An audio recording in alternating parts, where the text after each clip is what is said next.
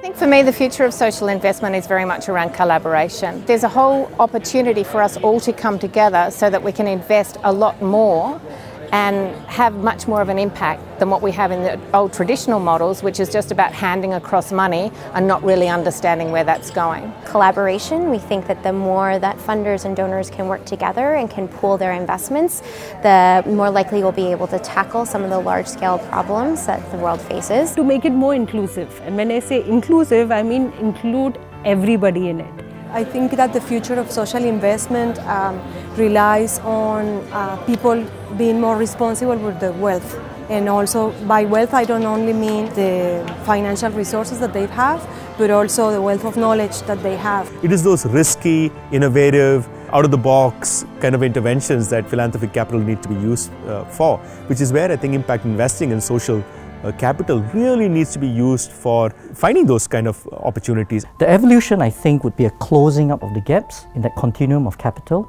As you have more startups in the pipeline that become viable, it will pull, draw grants and funding from those traditionally that are playing further down in the investment landscape. The future is more and more such people across the world getting involved in certain enterprises, you know, technology-based um, companies and social enterprises really scaling to a significant uh, way and particularly those in emerging markets here in Asia like India and Indonesia where you have very large populations to really build a very large you know, uh, company which could even be a unicorn in the future.